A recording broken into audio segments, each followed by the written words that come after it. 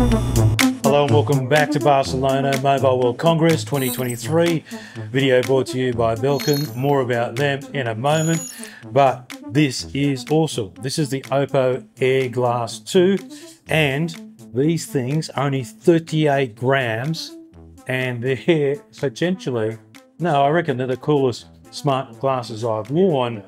It has a monochromatic display, so it's just green. And while I'm looking at you, I'm looking at a pre-prepared speech from Oppo about Michael Owen and UEFA Champions League.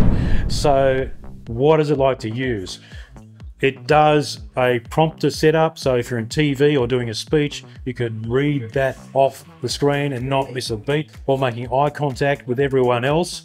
It's a bit hard to shoot the screens from another camera, but this gives you an idea of what you can see on the screen. So tiny projectors hit those screens on the glass themselves.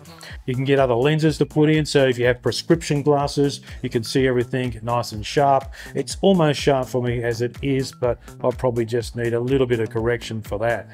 On the side, you can swipe between the script as I am here doing, or just one click brings you up to the home menu, and I'm going from the weather through the navigation, shop. None of these other things are available like translate, but I can get prompter, and just click on it and away I go. It really is just like using a touchpad or something on a computer. We're getting close to smart glasses being able to be on your head, not looking too geeky or dorky, and something that you can use anywhere.